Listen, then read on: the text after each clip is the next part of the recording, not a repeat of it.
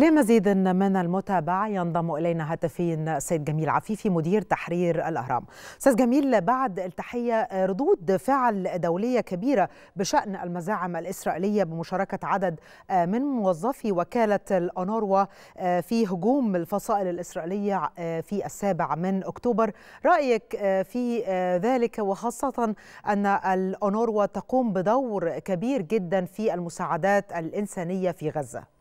طبعا مزاعم الإسرائيلية اللي أطلقتها طبعا إحنا عارفين الأكاذيب الإسرائيلية اللي بتنطلق من يوم 7 أكتوبر حتى اليوم للأسف الشديد كلها بتسعى إلى محاصرة الشعب الفلسطيني في قطاع غزة والعمل على قطع المعونات عنهم وقطع المساعدات الدولية عنهم بشكل كبير جدا.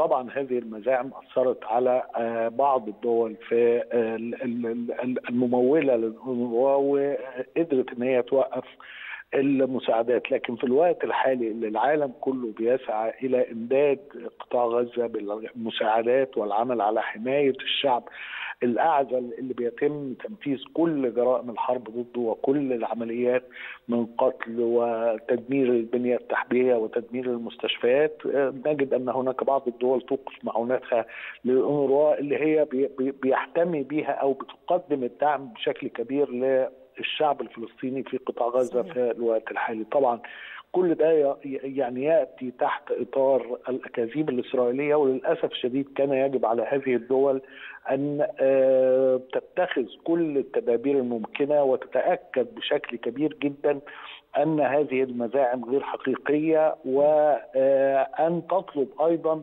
ما يثبت من الجانب الإسرائيلي بتورط هذه العناصر التي أكدت إسرائيل عنها كانت يجب على هذه الدول أن تثبت أن تطالب إسرائيل بأن تثبت حقيقة هذا الأمر ولا تتخذ الأمور بناء على تصريحات من الجانب الإسرائيلي نعم. بالطبع العالم كله في الوقت الحالي يرى هذه المأساة العالم كله بيسعى والعديد من دول العالم إحنا شايفين المساعدات اللي بيتم تقديمها إلى الجانب الفلسطيني في قطاع غزة من أجل رفع المعاناة عنهم. نجد هناك بعض الدول تساند إسرائيل في حصار الشعب الفلسطيني بشكل كبير جدا لأن الاونروا زي ما قلت لحضرتك بتقدم كل خدمات طبية وغذائية.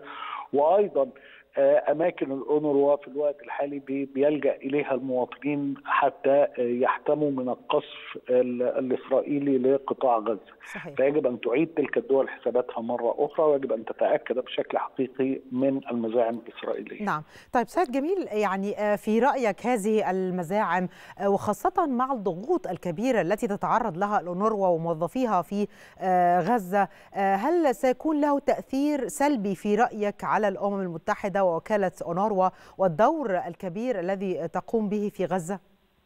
هو بالطبع ستؤثر لكن أعتقد في الوقت الحالي طبعا أنه يجب أن أن على الأمم المتحدة أن تطلب من هذه الدول التي أوقفت الدعم أنها تعود مرة أخرى إلى العمل مرة أخرى في قطاع غزة أو تقوم بتمويل الأونروا كما هي لأن الهدف الأساسي في الوقت الحالي هو رفع المعاناة عن المواطنين الفلسطينيين العزل اللي بيتم قصفهم وذبحهم ومنع حتى الغذاء عنهم. فلا تشارك دول العالم في عملية الحصار. يجب أن تتأكد تلك الدول من المزاعم الإسرائيلية زي ما قلت لحضرتك. لكن على الأمم المتحدة وعلى الأونروا أن تخاطب تلك الدول وتؤكد لهم أن ما يحدث الآن هو رفع المعاناة عن الشعب الفلسطيني محاولة مساعدة الشعب الفلسطيني بشكل أو بآخر. ولا ولا يمكن بأي حال من الأحوال أن يعاقب الشعب الفلسطيني جراء مزاعم إسرائيلية لم يثبت حقيقتها حتى وقتنا هذا وماذا عن الفترة المقبلة؟ يعني في مقال نشرته صحيفة الجارديان البريطانية أكدت فيه أنه قرار محكمة العدل الدولية اللي تم إصداره بشأن الحرب اللي بتشنها القوات الإسرائيلية على غزة أنه بيفرض مزيد من الضغوط على إسرائيل من أجل الحفاظ على حياة المدنيين. هل ستلتفت إسرائيل إلى ذلك؟ كيف ستكون خلال الأيام المقبلة في تعاملها على الأرض في غزة؟ غزة؟ هو أنا عايز أقول في البداية إن قرارات محكمة العدل الدولية هي في البداية طبعا قرارات مهمة جدا وقرارات في صالح القضية الفلسطينية رغم إن في قرار لم يخرج اللي هو عدم إيقاف إطلاق إطلاق النار وعدم استهداف أو وقف فوري لإطلاق النار ولكن كون إن يتم قبول هذه الدعوة من جنوب أفريقيا ويتم البت فيها ويتم العمل على إخراج هذه القرارات. أعتقد إنها قرارات مهمة جدا وسيتم عرضها على الأمم مجلس الأمن.